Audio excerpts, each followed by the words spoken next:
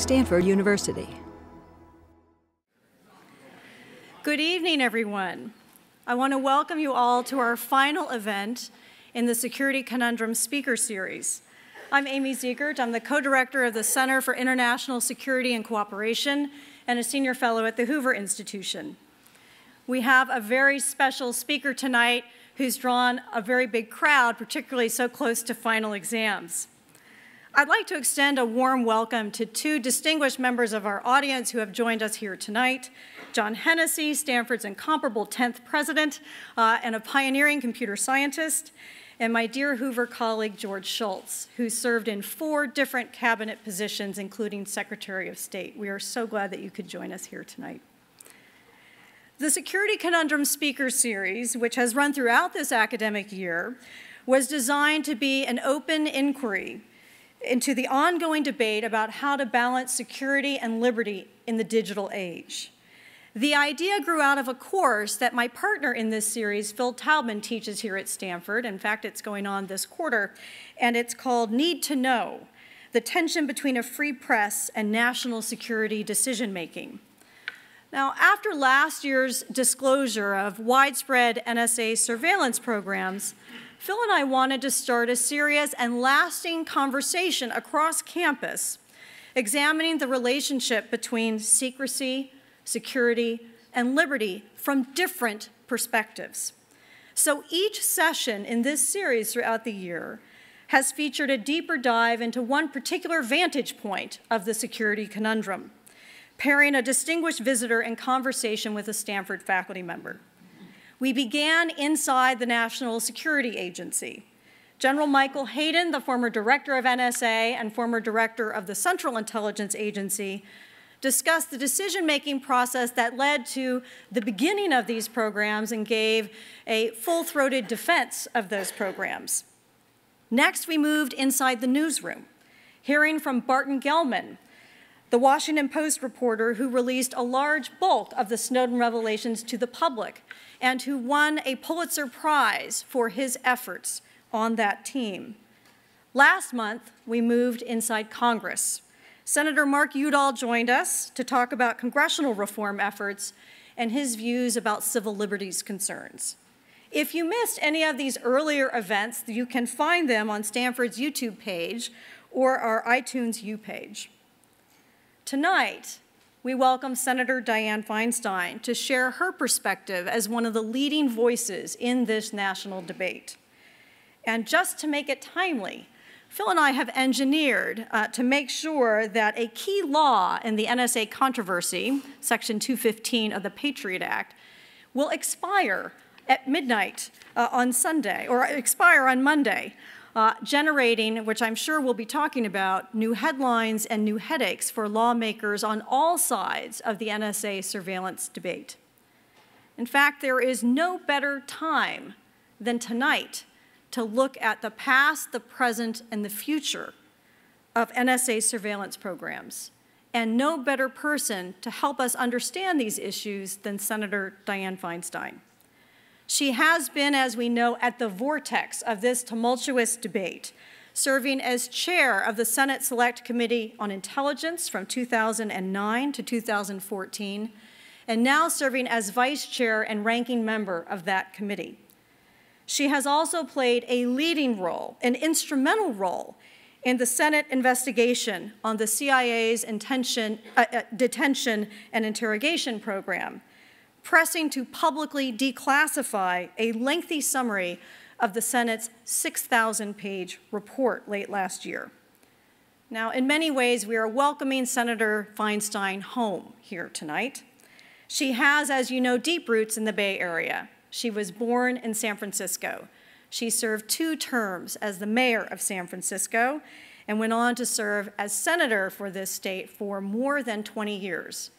In fact, most Stanford undergraduates do not know a time when the state of California was not represented by Senator Feinstein. We are, of course, also welcoming her home to Stanford. Senator Feinstein received her BA here from Stanford in 1955 in history, She was also a member of the university's Young Democrats, and she got her start in government right here on campus as vice president of her class. My Stanford colleague, Phil Taubman, will lead tonight's discussion with Senator Feinstein. Phil is a consulting professor at the Center for International Security and Cooperation, and before that, he spent 30 years at the New York Times, where he was a reporter and editor and served as the Washington bureau chief of the Times. Like Senator Feinstein, Phil also has deep roots at Stanford and got his start here. He was editor in chief of the Stanford Daily back in 1969. Before we welcome them both onto the stage, just a few housekeeping items I want to mention. Uh, if you haven't already, I ask that you please silence your cell phones. I want to note that Stanford Video is recording this event and it will be available online. All of you uh, should have uh, in front of you or nearby uh, cards and pencils so that you can write questions. We invite you all to write your questions during the course of the event. We will be incorporating questions from the audience, your questions, periodically during the conversation. And before uh, we welcome them onto the stage, let me close by thanking the six partner organizations that have come together to co-produce this series throughout the academic year. The Center for International Security and Cooperation, the Hoover Institution, the Freeman Spogli Institute for International Studies, Stanford Law School, Stanford Continuing Studies, and the student group, Stanford in Government. And now please join me in welcoming Phil Taubman and Senator Dianne Feinstein.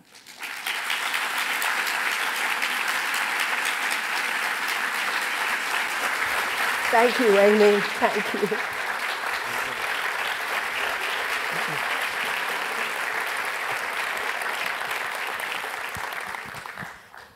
Good evening. Thank you all for coming. Uh, thank you particularly, Senator Feinstein, for being here. Welcome back home. Thank you very much. Uh, so as you know from Amy, I'm a news guy. Uh, and there's a lot of news going on in Washington these days involving the issues that we're going to talk about tonight. So I thought we would start with what's in the foreground right now. Senator Feinstein is flying back to Washington on Saturday for a rare Sunday session of the Senate.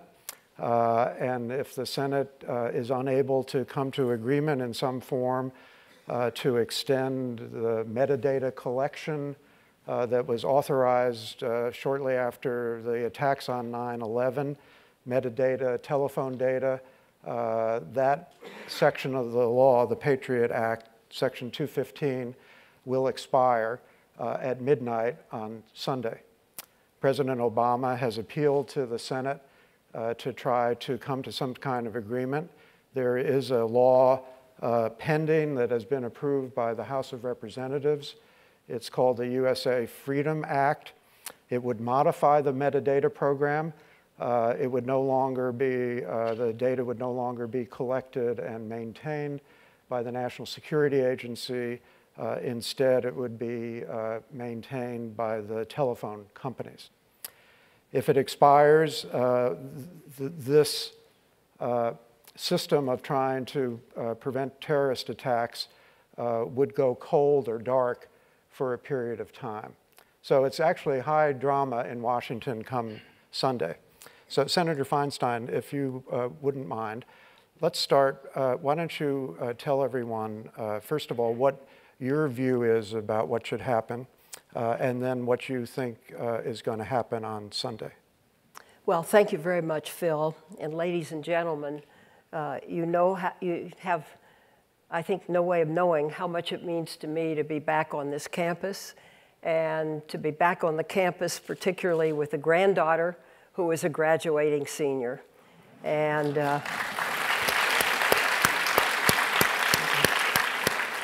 so uh, I think, Phil, you did it as well as it's been done. It's a very accurate statement of what has transpired. Um, there is a section of the Patriot Act that controls lone wolf business records.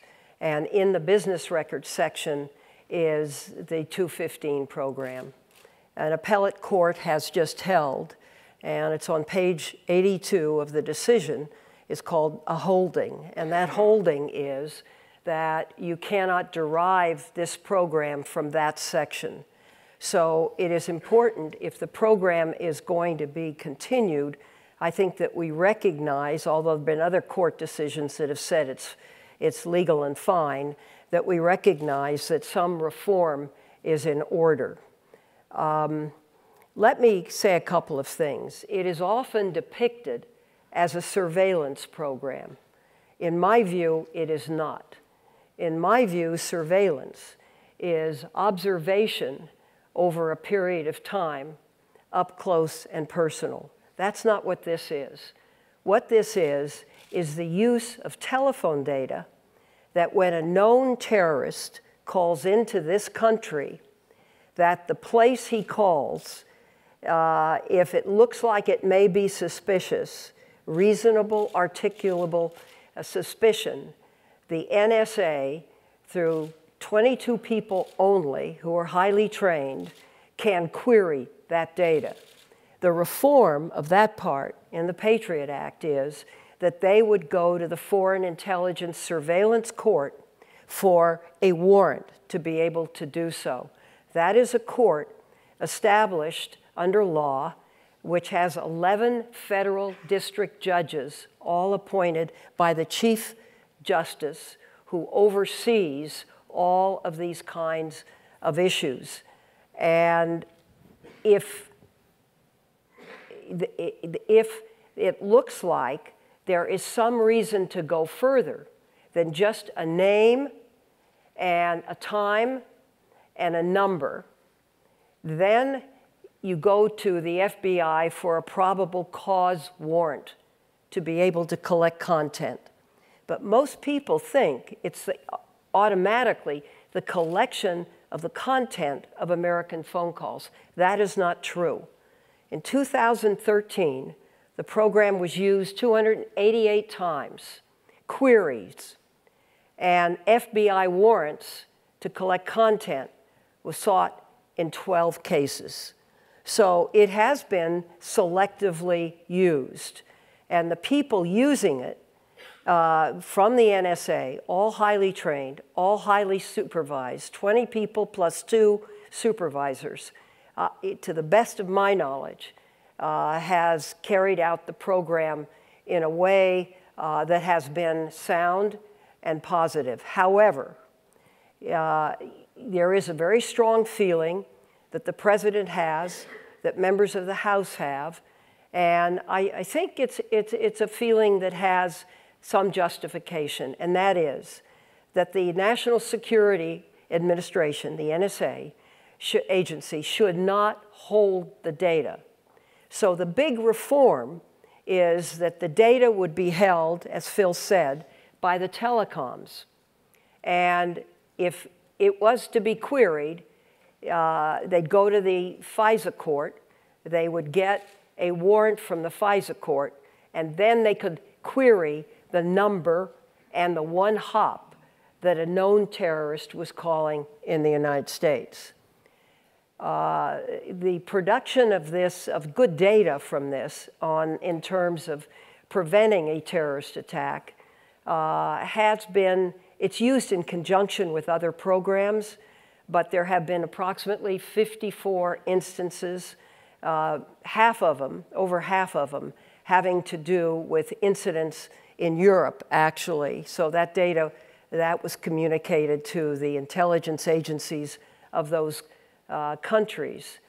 But I think the one case that's the most prominent was Najibullah Zazi, who was putting together a combination of people to use uh, beauty shop products to build a bomb to blow up the New York subway. And there were a number of arrests and convictions in that case. And Mr. Zazi, as well as I think six of his compatriots, are now doing time in a federal penitentiary. So it's a program with some controversy. Um, I, I don't want to, maybe I shouldn't go on and say this, but I don't think during my lifetime I've ever seen the degree to which evil exists out in the world today. The beheading of small children, just because. Uh, the assassination of 700 troops at a time, which I happened to watch on television, who were frog marched in their underwear and then just mowed down by a line of ISIS fighters uh, with AK 47s. Um, the fact that ISIS is now in 12 countries, uh, the fact that they occupy, uh, not threaten, but occupy uh, a third of Syria and a third of Iraq. Uh, the fact that uh, they are not like Al Qaeda. Uh, they own, they come in, they run a government, they steal or take oil money or wherever they can they train fighters. They appeal to fighters who are coming in from all over the world. And they are, in my view, the personification of evil. It all stops when I see a six year old child that I've seen. I won't describe it, but her head is missing. And that to me is a unique evil that needs to be stopped. And the degree to which they can come after us, I don't know. But I do know uh, that it has been successful in 9 11. I do know that all of the intelligence is out for a lone wolf, a single person who may have access to certain materials to kill. Uh, when that'll happen, where it'll happen, I don't know. But these programs, ladies and gentlemen, aim to protect this country, pure and simple. They're not really aimed to go after Americans. The CIA cannot go after Americans. The FBI can with a warrant. So when I started covering these issues for the New York Times back in the mid 1970s, uh, the Church Committee, headed by Senator Frank Church, uh, another Stanford connected person, uh, had just finished its work, and the committee that Senator Feinstein uh, has chaired and then uh, is now ranking minority member, the committee was created back in those days because of a series of abuses by intelligence agencies, CIA, NSA, FBI in particular. Uh, and I think the, I went back and reread parts of that in report. the 70s, Phil? In the 70s. Yeah. The, the, abuses were in the 60s and 70s. I went back and reread parts of that report this afternoon uh, just to remind myself uh, that I think we know these agencies are well intentioned, but there is a long history of these agencies acting beyond the writ that they have received from the United States Congress. So are you not worried? Uh, did we not see, in fact, yeah. with the, the programs disclosed by Edward Snowden, that the NSA in particular sort of took a mandate and then went way beyond it? No, I don't believe that's the case. Is there reason to worry, to be concerned? to provide oversight? Yes. The 1970s in 1976 produced the Church Report, who and the Church Committee found out that there were terrible things going on. Martin Luther King, uh, all kinds of terrible things, no question about that. Um, and that's how the intelligence committees right. were formed in the House and the Senate to provide oversight of these agencies? Well, it's an imprecise science, not even a science. Um, and where I think our committee's biggest contribution there started when we learned that um, tapes had been destroyed over the torture of certain detainees. And Senator Rockefeller at the time was chairman of the committee, and he ordered the staff to just look at three detainees. And that report came back, and the whole committee, Republican and Democrat, was horrified. And so, by a very strong vote, 14 to 1, we decided that we were going to take a look at high value detainees and how they were interrogated and what the conditions of detention were. And what we found after six years of good staff working day and night and weekends was that there was horrible abuse. First, that the program was not effective. Second, third, that it was mismanaged, that contractors were hired who knew nothing about Al Qaeda, nothing about the uh, uh, about interrogating individuals who were former SEALs, and um, terrible things, in my view, were done. So we began, not we, but the staff began.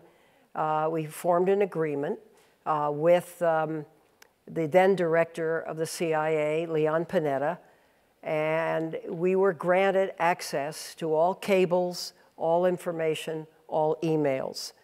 And we began to take a very good look. See, this is, it's one thing when people come before you and you have to make a decision whether you're being told the truth or not. It's another thing when you really look at the daily record of what goes on, how something's managed.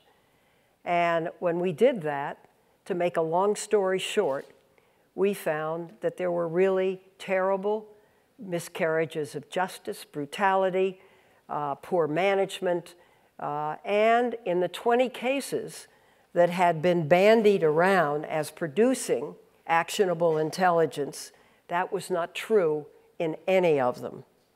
So this report was put out. As a matter of fact, we have a few copies in the back of the room. If you'd like to pick one up and take it and read it, you're certainly welcome to it. If there aren't enough, leave your name and we'll send you a copy. I think it's a very important statement to say never again, that this is not what the United States of America is about. Now, where am I going with all of this? Intelligence agencies seem to me to be very close to presidents. And presidents, almost right or wrong, either party, tend to defend them. I haven't figured out exactly why yet. The president essentially controls classified information. The president decides whether something is declassified or remains classified. And there are very real punishments for disclosing classified information, as journalists are learning and others are learning through court decision making. So, the truth how do you, how do you make these agencies follow the law? There's only one way, really, and that's calling them up short, is being able to get in deep enough and close enough to know. And by making it very difficult to tell an untruth to what's called power, meaning in a hearing. And it's very difficult to know even in a classified hearing, if you're being told the truth or not. So, looking at these programs on a daily basis, assessing them is really important. And the political culture doesn't want to do it. But I think it's very important that we do it. And this was so secret so a program that began in uh, 2000, early 2002, wasn't briefed to most of us until 2006. And the man who briefed us, Director Hayden, did a terrible job.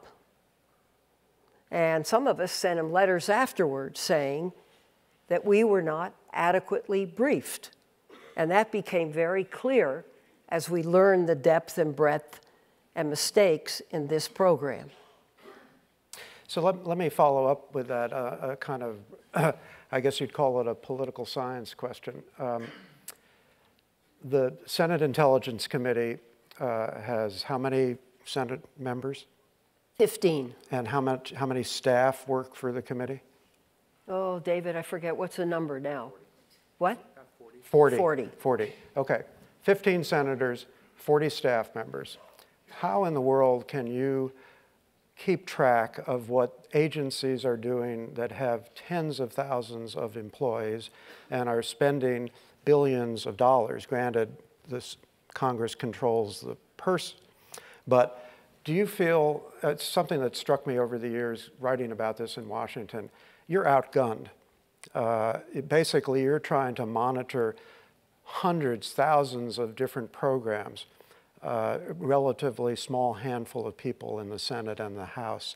Do you think that you can really monitor them? And, and if not, what kind of alteration in the system could be created to make it more effective? I've thought about that, Phil, and I haven't come up with one yet. Um, just because of the specific nature of it, the classified nature of all of this, and the fact that you have, just like anything else in politics and in public office, it runs the spectrum. There are people who want to be comrades, who want to be viewed as close, it's kind of the macho thing.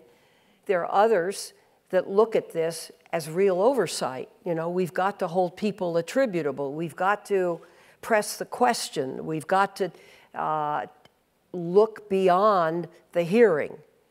And that's what we began during my presidency.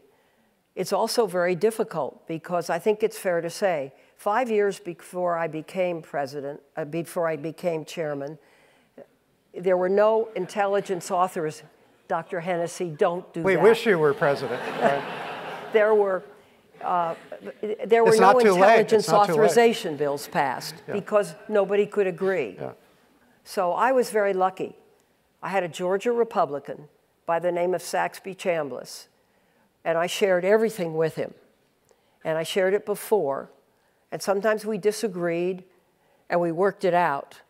But we came together and we've passed what five intelligence authorization bills six in a row. That's the those are the bills where we establish the law where we change the law. So we were able to do six of those.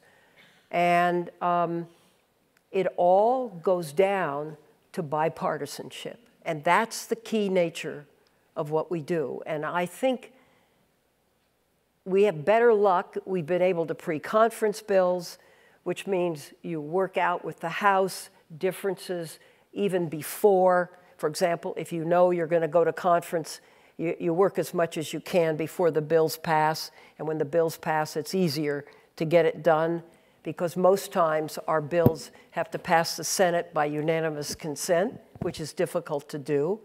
But when you work bipartisan, you can get it done. And I'm very proud of that fact and that we did it for so long. So, you know, the church committee talks about the difficulty in a democratic society of operating secret intelligence agencies. It's almost a, yeah. uh, you know, a non sequitur, oxymoron, an yes. oxymoron. Uh, so, you know, what are, what are your thoughts about how we as a, as a democratic society, represented by people like you in the Congress, uh, can maintain some control over these agencies and what limits must we put on them because given uh, a free reign, they will undoubtedly uh, keep going as far as they can. Phil, I can tell you this. There is no country on earth, big country, that has an intelligence committee, that has the laws which are now codified, um, that does this. Uh, we meet with the UK. Matter of fact, I just met with five ministers over a detainee about a week ago. Um, five members of parliament, I should say, about a week ago. Um, they don't have as strong oversight as we do. The French don't, the Germans don't. Now, Russia has a huge intelligence agency. China China is new in this, huge, big, devoted toward fiduciary intelligence, getting into companies, staying there for three years, draining companies of their fiduciary information, trying to gain knowledge this way. You can't abdicate the field because we'll get eaten up. One of the, I mean, this is a place of innovation. Uh, you know, there's one thing, there's innovation and there's imitation. Um, this country innovates, and those innovations people look for, they lust for, uh, they, they violate all kinds of systems to get.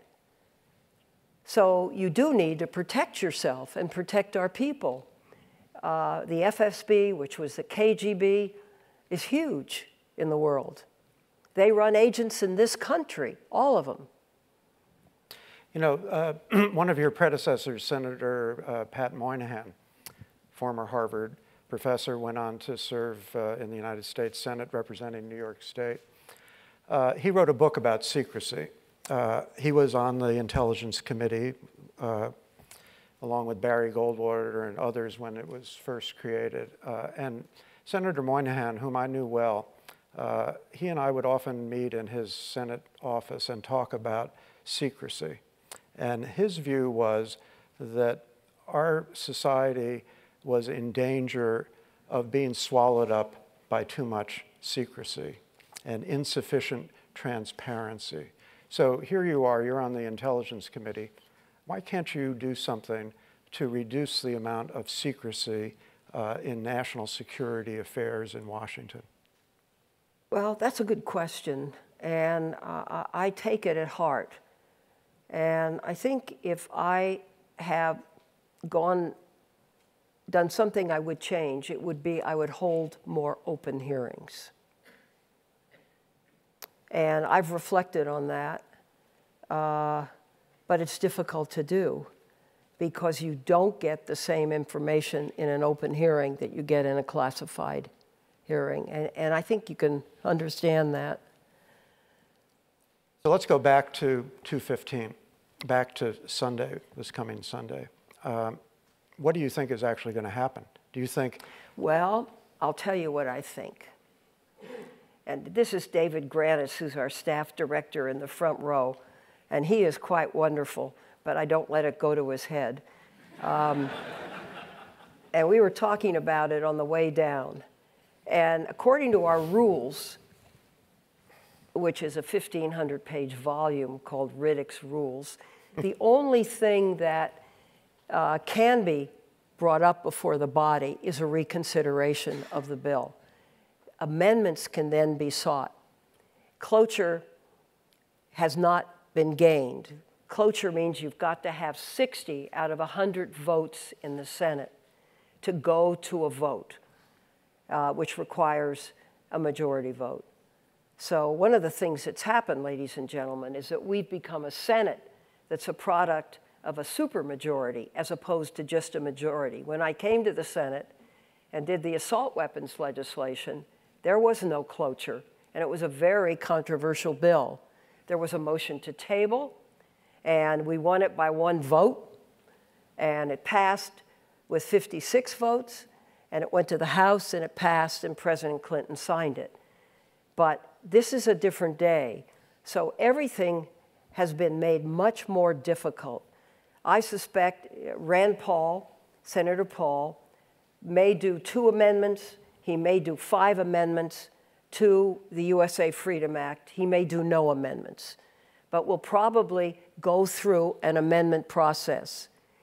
If the bill remains as it is, we're three votes away from cloture. And I think those three votes are possible. If it isn't, there's a vernacular which I won't use, but if it isn't messed up in the amendment process. You're among friends. Yeah, in the amendment process. Yeah. Um, if not,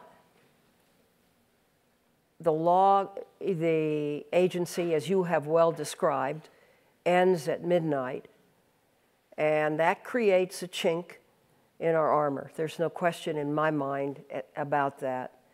Now, having said that, there are also other things that can be done. We have a backup bill. The big difference in our backup bill is that it mandates the telecoms uh, to hold uh, the data for two years. And it also changes the advocate to an amicus. Otherwise, it's fairly similar to the Freedom Act. I will vote for the Freedom Act. I think we should do it. We should try it.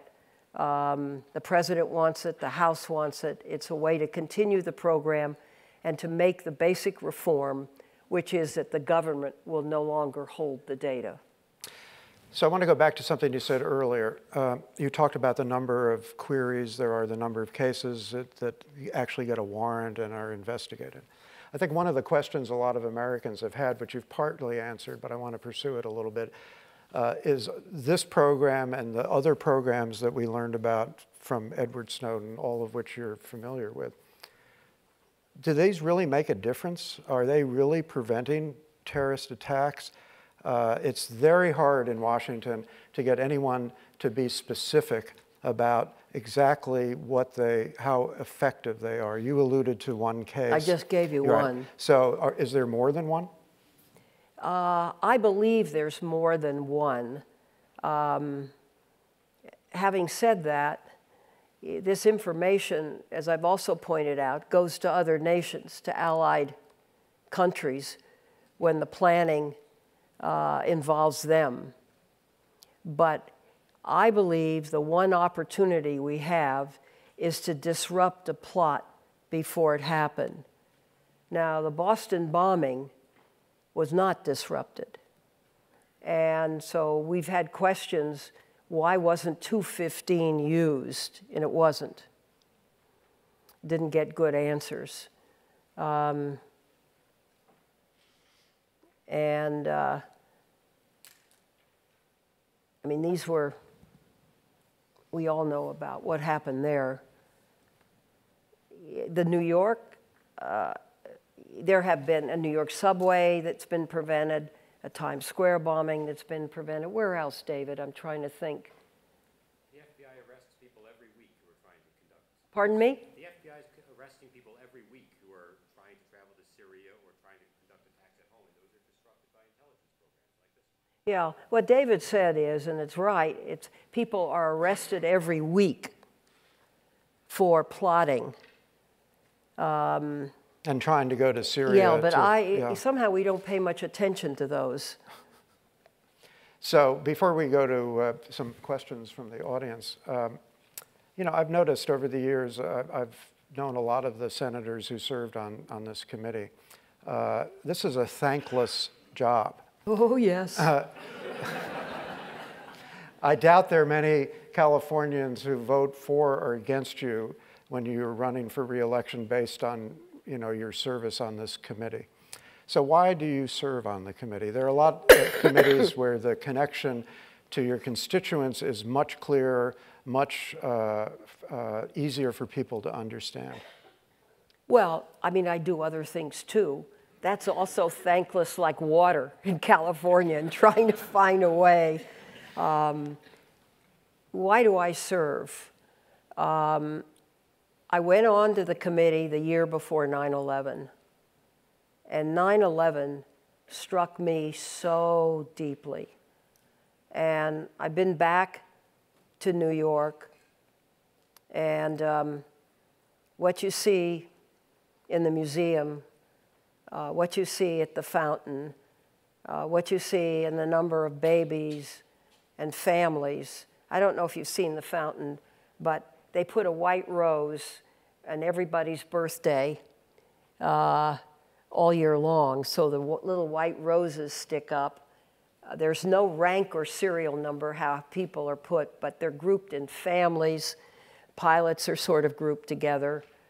And it was so beyond anybody's comprehension that somebody could do this and just want to kill innocent people working in a building and the way in which it was done. Uh, that because I was already on the committee, I was really cemented uh, to want to see that the community works as well. We have 16 different intelligence agencies, works as well as it does. And then came the Iraq War, and we saw the real fallacy in some of what's called a national intelligence estimate, which uh, did say that Saddam Hussein possessed weapons of mass destruction, which was wrong. So, what you want is to be right. So, there is this constant striving for right. And I can't explain it, but to make things right, to do them right, to do them well, to protect our country, to protect our values as Americans. And this was my opportunity to do that. Uh, I was assigned to the committee by the leader. Um, and as you, everything's done by seniority. As you percolate up in seniority, you have an opportunity to become chairman. And in the chairman, you set the table, so to speak. You make the determinations of what will come up, what the committee will do. And so it's an opportunity to try to change some things. That, that was the torture report. We started the torture report on a bipartisan basis. And that fell apart when the Attorney General decided that he was going to investigate two deaths that took place in Afghanistan in two black sites. And um, the Republicans pulled out. So we continued um, as a Democratic majority. And um, I, it's interesting to me because there has been a lot of difficult things to handle in terms of statements have been made, but there has not been one fact that's been wrong in the report, with just one small exception, and that was an appendix where one addition was wrong of numbers. So I think it's a very important document. I believe one day it will all be declassified. Uh, we just have the summary declassified now, which is about how many pages? 500. 500 pages. 7% of it is redacted, unfortunately. I would say, just speaking for myself, I thought it was very courageous of you to push that report out into the public. Oh, well, I, I don't really feel that way, but thank you, that's nice. Thank you very much. So uh, before we finish with that and go to a question from the floor, I had one other question related to that, which is, I was astounded when it turned out that the CIA was spying on your committee. I mean, come on, uh, you know. That's So- interesting. What, you know, it's, you were, I gather, uh, not amused. No. No, and I'll tell you that story. It happened in 2010 that it was brought to my attention that our walled off computers, the flow of information, cables, emails, other things, was to come in on one set of computers. And then we had walled off computers that were just for the use of our staff. And we learned in 2010 that 870 documents had been removed, and a second time, another 50 documents had been removed. And so I went up to the White House and I talked to um, the White House, and they said, uh, let us look into it. And we received an apology. It was true. And this time, what happened is we don't know who or how, but Leon Panetta had asked his staff to assess what we were doing. And an assessment, which has been termed the Panetta Review, came through, and the staff saw it, and they took it and walled it off in our computers to be able to study it. And sure enough, it verified what we were doing was correct. So it became an important document. Well, they went into our computers to remove that document. I don't know, it could have been a whistleblower. I don't know who sent it through, but it came through. And um, it was a real dust up. There's no question about it. And I think was a violation of separation of powers, pure and simple. But again, what we were doing was controversial. People didn't want to believe it. And this document will stand the test of time. And I think with this document, we have a good opportunity to have, have it never again happen. Uh, we're fortunate. John McCain is on our side. Uh, we hope uh, when the defense bill comes to the floor to do an amendment which would extend something called the Army Field Manual, which is the interrogation document which was put together under General Petraeus's command and used by the Army all over the world. And it is a very solid document. And we would like to extend it to the whole government. And we will hopefully do that with an amendment and also limit the CIA's ability to detain anybody. CIA shouldn't, CIA is an intelligence agency, and it shouldn't be running detention centers. Russ, do you have some questions? Good evening, Senator. Thank you for coming to Stanford or returning to Stanford in such a timely manner. Um, I have a few audience questions that I'll mod uh, moderate for you. You're going to have to speak louder I'm sorry. I'm Okay. expected to answer. All right. My ears are plugged up. I have a cold. Okay, sorry about that. Uh, at the root of uh, the public's reaction to the Snowden affair is distrust in government. In your view, has trust increased, decreased, or stayed the same since you came I to can't office? hear him. In my, why don't you let me see it? Oh, you won't be able to read this. Stanford It's like a doctor's handwriting. Read, yeah. read it more loudly. Okay, Russ. sorry about that. Uh, at the root of the public's reaction to the Snowden affair is distrust in government. In your view, has trust increased, decreased, or stayed the same since you have been in office? Has what in? Trust in government. Oh, trust Si- in government. Yeah. Uh, This is, trust goes up when there's no controversy. And trust goes down when there is controversy. And what we've had is much more partisanship,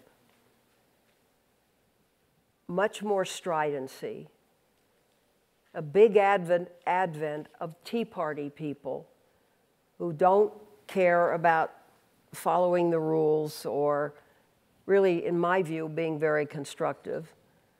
And I think trust drops because it becomes much more difficult to get anything done. And I think Democrats, and I happen to be a Democrat, lost the Senate because we couldn't get business moved. We couldn't get appropriation bills passed. It was all held up. And that brings on a lack of trust in government. Okay. What do you think of Edward Snowden's actions, and how should the U.S. government treat him at this point? What do you think of Edward Snowden's actions, and how should the government respond Okay. to him? Uh, I have very strong feelings about it. Um, Edward Snowden has said in a newspaper, which I have read, uh, that he took the job with the intent to scrape the system. That's different than finding something that you don't like and want to reveal. He not only revealed intelligence data, he revealed all kinds of military data and military operations. Um, the terrorist movements have seen this and operate, have changed their operations because of it. I think it's a very serious crime. Um, it would be one thing if he came to the Intelligence Committee, certainly while I was chairman, we would have appointed staff to have looked at it immediately. We would have eh, provided some report uh, on, on what was happening. Uh, he could have gone to anybody, could have gone to the Judiciary Committee, the Intelligence Committee, but he didn't. And he took millions of pages of data. And who knows what use is going to be made still of a lot of it. So I don't respect him for what he did. I believe he should come back to the United States and take his punishment, candidly, which I doubt very much that he will do, but that's what I believe. So this, but this raises a really interesting question. The programs that he exposed, whether you, we think of him as a hero or a traitor, but the programs that he exposed were all programs, presumably, that the Senate Intelligence Committee was aware of. No, No? no, this is raw data. This could be names of assets, it's military operations, it's communications between officers, it's all kinds of different stuff. But I'm it's not, it's, it's, and I mean, it's reams and reams and reams of it. I understand that, but a lot of the material speaks to programs that the NSA was running, which I cannot believe the Intelligence Committee was unaware of. Uh, the, the program, the PRISM program, uh, you know, in which the NSA was going into the back doors and sometimes the front doors of Silicon Valley uh, companies uh, to collect data. There, there's just one program after another uh, that he revealed. Uh, so I'm not talking about the details, but I'm just talking about these programs. They clearly were programs that were approved by the administrations of George W. Bush and Barack Obama. Uh, and authorized, I assume, by the House of Representatives and the United States Senate and funded by them.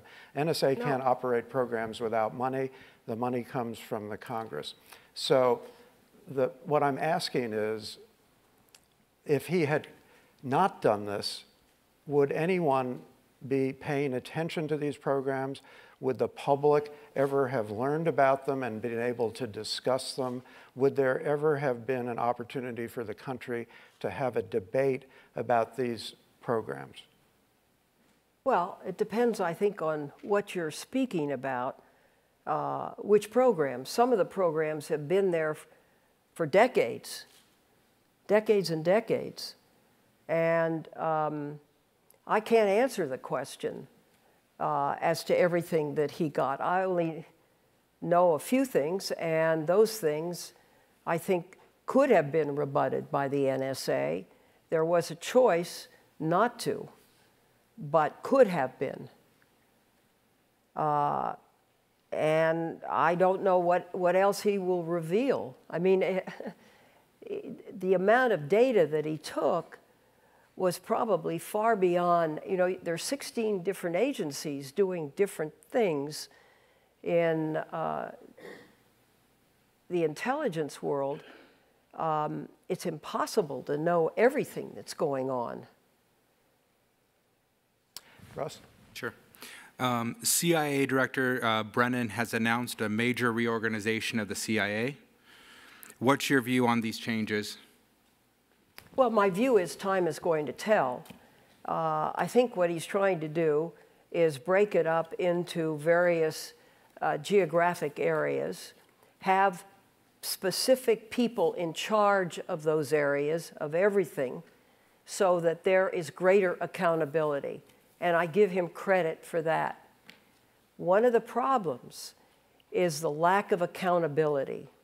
One of the problems is that so many contractors are used. And contractors should not be used in what is an essential governmental function. And we've been trying to wean down every year in the budget the number of contractors. The two people uh, referred to in the press as Mitchell and Jessen, who did the interrogation program, were contractors. Nobody was responsible. They handled the program. They did the interrogation. They made the judgments whether it was successful. That shouldn't be like that. So I think there, there's a lot there's a lot to do. I mean, this isn't simple and it's not concise, but I think John Brennan has made a step forward by saying that we're going to increase accountability, we're going to have a different organization, and these are the people that are going to be responsible for different tasks and do that, break it down in all of the key areas of the world where America gathers intelligence.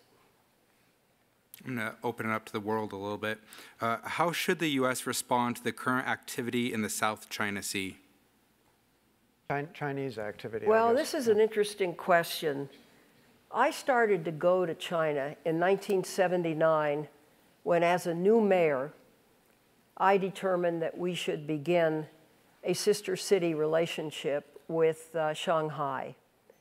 Shanghai was a big port city, huge city and I thought San Francisco, Old Gold Mountain, uh, beloved by the Chinese people, would be a good start.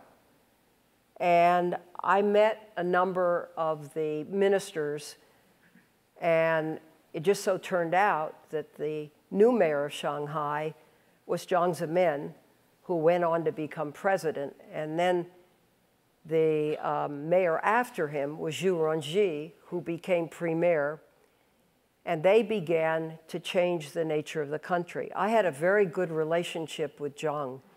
I asked him about the islands, the Spratlys, and he said to me, We will never use force.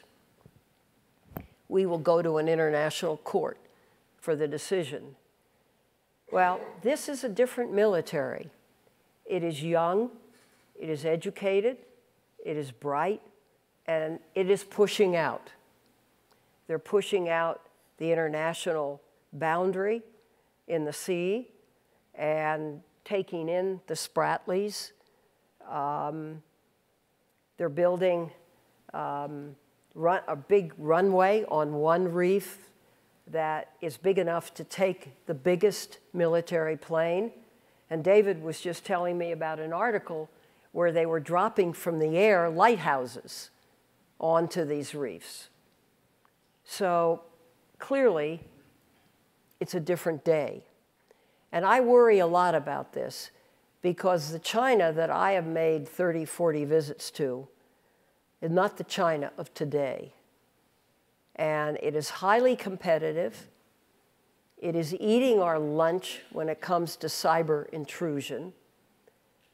And it is extraordinarily serious. And it is my belief, it used to be the Chinese were you make friends and then you do business with your friends. That's really no longer the case. And China is now practicing soft power and reaching out. And the trade agreement that we have just taken some votes on, uh, they are going to counter with the Silk Road and another agreement. My hope would be that they would want to be included in what is aiming to be a level trading field, a level uh, which is where there is assistance, where there is enforcement, and where there is no child labor, there is no forced labor, where copyrights are respected, um, and where you have a mechanism uh, to solve some of these problems short of court, which is extremely difficult still to do. If businesses have problems in China, the court system is extraordinarily difficult for them. So I'm very worried because I have a great feeling for China and the culture that's Chinese and the background of that culture. And I do not see China as a necessary enemy. I see China as a potential ally, always have. And it seems to be going the opposite direction now. I'd like to see it reversed. Okay, one last question from the audience. Okay. Um, Should federal agencies be allowed to take down or shut down known terrorist, drug trafficking, or ch- child pornography networks?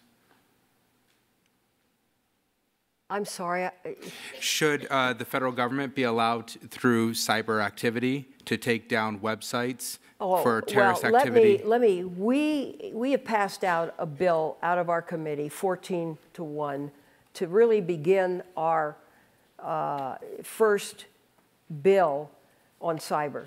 And it's in the information sharing area. And what it does is say company to company or company to government that if you share exclusive cyber related information with each other or with the government, you have full liability protection. But that doesn't include any of the things you're talking about. It is strict um, liability protection for cyber related information. So It does not deal with sex trafficking. I wanted to uh, ask one cybersecurity question. We'll close with that. Um, Stanford, as you may know, has got a cyber initiative. Uh, the Hewlett Foundation is uh, helping to fund it. Similar program, I think, at Berkeley and MIT. Uh, as citizens, what should we be most concerned about in terms of cybersecurity? Well, this is very hard. You know, the government has been criticized. I am from the generation that's developmentally disabled when it comes to this stuff. I'm just gonna. So, a senator pulled out my iPhone and he said, Let me show you what I can learn from just looking at your iPhone about your behavior. And my eyes almost fell out of my head. And David did the same thing today and showed me all the different areas. So we live at a time where our personal data is really at risk and not from the government, from the private sector. Where we, where we shop, what we buy is sold to others. Uh, facial recognition is now possible. You can take a picture of somebody looking in a window at a department store one day soon, seeing what they like, run their facial recognition, and know who they are, and be able to send them certain information about products they can purchase. Um, our homes are all on the Google map. Uh, you can find out where I have been every day this week. And I kind of object to that. Well, let it be known that Senator Feinstein came to Stanford University today. Yeah, Uh, right. Right, okay. So uh, I want to thank everyone who came today and those of you who have been uh, uh, faithful attendees at the Security Conundrum Series. Uh, And I most of all want to thank Senator Feinstein not only for coming today, but for serving the country as responsibly and carefully as you do. Thank you. Oh, thank you. Thank you very much, everybody. Thank you. Thank you. Thank you very much. Thank you. Appreciate it. Thank you. To tell you this, my husband went to Cal, I went to Stanford. So we have an ongoing debate. And this is such a great university. I am just so proud my granddaughter was able to experience it. So thank all of you who are connected with this wonderful place. For more, please visit us at stanford.edu.